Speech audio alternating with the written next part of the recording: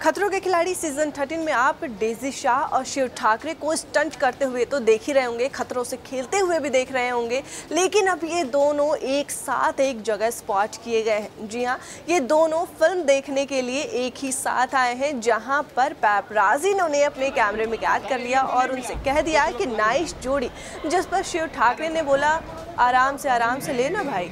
आप भी इस वीडियो को देखिए ज़रा। आओ मैम साथ में आओ ना। आपके साथ में। आपके लिए क्या बात है नाइस जोड़ी।